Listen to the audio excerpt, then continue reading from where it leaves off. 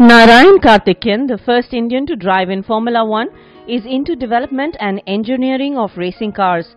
On the sidelines of MRF Challenge 2015, Karthikeyan spoke to TOI. Excerpts from the interview. What is the future of the Indian Grand Prix? I don't think the Indian GP will ever happen again. The Formula One promoters are also not showing any interest. The government has to show interest in hosting F1.